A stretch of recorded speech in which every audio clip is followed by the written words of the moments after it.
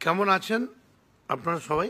আমাদের দেশে corona virus নিয়ে যেখানে বাচ্চা থেকে শুরু করে বুড়ো পর্যন্ত সবাই আতঙ্কিত সেখানে মানুষের মতো দেখতে না মানে মানুষই কিন্তু এদের জীবনে সবকিছুতে শুধু আনন্দ দরকার। অসাধারণ।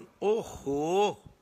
সকাল থেকে শুরু করে রাত পর্যন্ত এদের শুধু আনন্দই দরকার। পৃথিবী যদি ধ্বংস হয়ে যায় না তাও এদের আনন্দই লাগবে শুধু।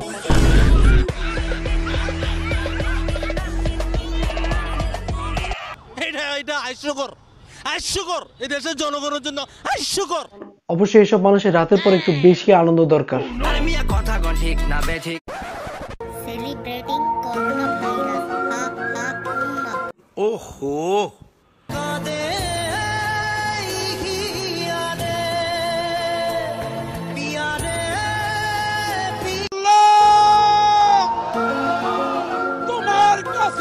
ভাইরে ভাই, কে তুই? মানে কি দেয়া বানাইছে? মনে কি ডর ভয় নাই? আরে আপু, এটা করোনা ভাইরাস, ঠিক আছে? এটা আপনার বার্থডে পার্টি কিংবা আপনার ব্রেকআপ পার্টি না যে আপনি সেলিব্রেট করবেন। দুনিয়ায় যদি কেয়ামত আসে না তাও ওরা পোস্ট করবে সেলিব্রেটিং কেয়ামত। এইসব মানুষরাই মার লাশের সাথে ছবি তুলে পোস্ট দেয় সেলিব্রেটিং বাই মমস ডেথ এইসব পোস্ট দিতে এদের বিবেকে একটুও বাঁচবে না। এরা যদি করোনা ভাইরাস রোগে আক্রান্ত হয় না তাও এরা ফেসবুকে পোস্ট দিবে। রাকিব তুমি আমার দেহের মধ্যে না ঢুকতে পারলেও করোনা ভাইরাস ঠিকই আমার দেহের মধ্যে ঢুকেছে। অসাধারণ ওহো। অনেকে বলবে এদের মাথায় তো গোবর গোয়া আছে। হ্যাঁ অবশ্যই। এদের মনোযোগে একটাই কষ্ট। শ্যামা কীভাবে কালো থেকে ফর্সা হলো, জবা কীভাবে কাচি দিয়ে বোম ডিফিউজ করল, এটাই এদের মাথা ব্যথা। দু সরি বুক ব্যথা। কিন্তু এদের করোনা নিয়ে কোনো মাথা ব্যথা নাই। ওদের এসব কাহিনী দেখলে অ্যামাজন জঙ্গল থেকে বিরাট একটা বাস এনে পেছন দিয়ে ঢুকে দিতে ইচ্ছা করে। ও না, তখন এরা বলবে সেলিব্রেটিং হার্ড কোর আমি মনে করি না যে আমি আগের থেকে ভালো হয়ে গেছি।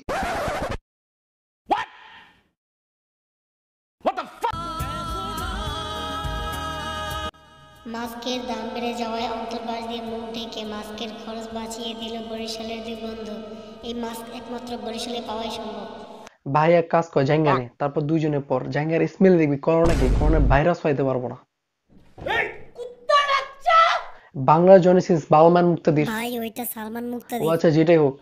আঙ্গুলের চিপায় চাপায় সারা শরীরে খাউজানি সুলকানি বিচি পাসরা গোটাগাটি ঘা পাসরায় ভরে গেছে। উনি মানুষদেরকে খুব উপদেশ দিতে পারে উনি জীবনে কোনো গালিই দেয় নাই।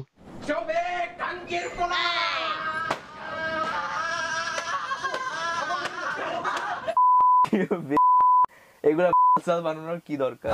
সবাইকে মারি। আমি ব্যারাস তোর বাপের থেকেও বেশি। আমি ব্যারাস তোর হয় না খারাপ। চুল ব্যারাস তোর চোদ্দ গোষ্ঠী থেকে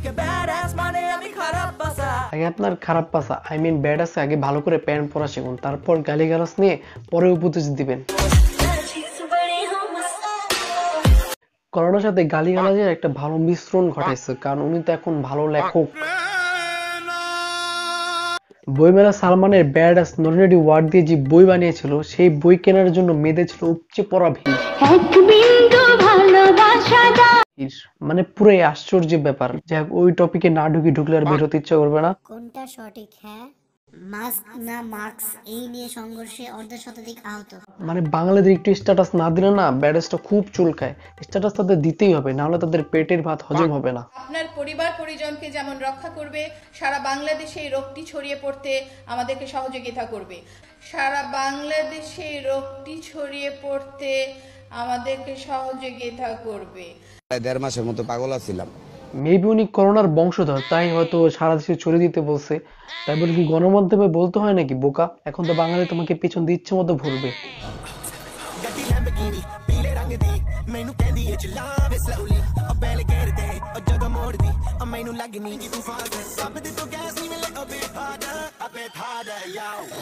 আমি